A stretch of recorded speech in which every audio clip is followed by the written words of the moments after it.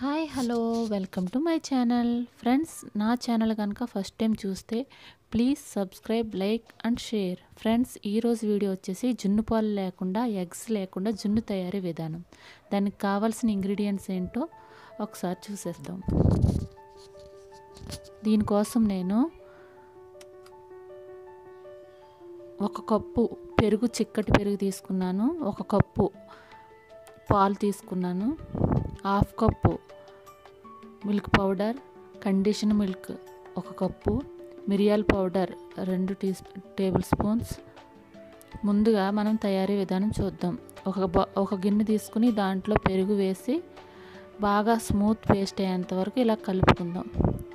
ఇలా బాగా కలుపు కలుపుకున్న తర్వాత దాంట్లో కండిషన్ మిల్క్ వేసుకుని ఈ పెరుగులో మిక్స్ అయ్యేంత వరకు బాగా మిక్స్ చేద్దాం. ఇలా మిక్స్ చేసుకోవాలి. బాగా స్మూత్ పేస్ట్ అయిన తర్వాత ఇందులో మిల్క్ పౌడర్ కూడా వేసుకుని బాగా కలపాలి. ఇలా మిక్స్ అయింది కదా చూడండి ఎంత స్మూత్గా ఉందో. ఇప్పుడు దీంట్లో పాలు తీసుకున్నాం కదా ఆ పాలు ఇందులో యాడ్ చేసుకుందాం. ఈ పాలు కూడా బాగా కలిసేంత వరకు కలుపుకొని దీనిపైన మిరియాల పౌడర్ బాగా ఇలా జల్లుకోవాలి మొత్తం.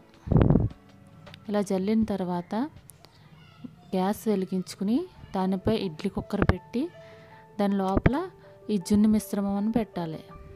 చూడండి ఇలా పెట్టుకుని జున్ను మిశ్రమాన్ని ఆ ఇడ్లీ పాత్రలో టూ గ్లాసెస్ వాటర్ వేసాను.